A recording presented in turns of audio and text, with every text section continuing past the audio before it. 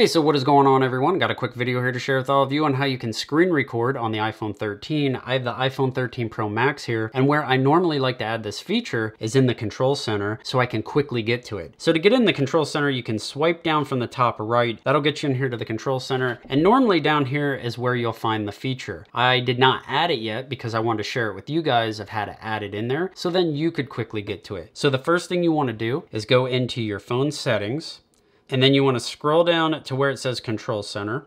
And then scroll down in that list until you find one that says screen recording. And there's going to be a green circle with a white plus. You just want to touch that. That'll throw it into the included controls section up here where it says screen recording now. Now, if we go back to the control center, we will have a new little tab in there with a white dot and a white circle around it. So if I tap on that, you'll notice it's counting down.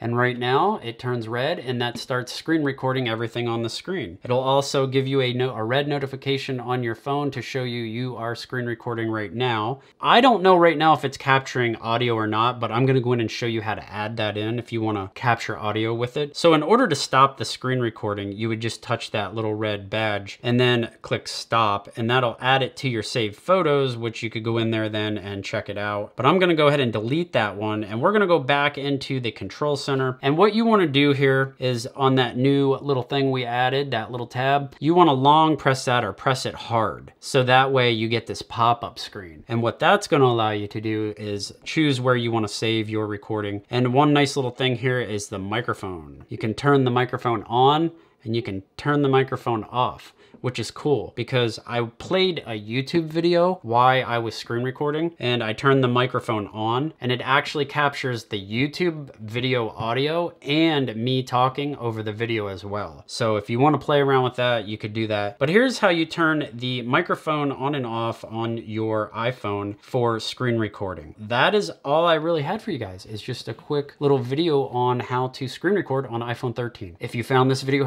helpful, hit that like button, leave comments below guys, and I'll see you in the next one.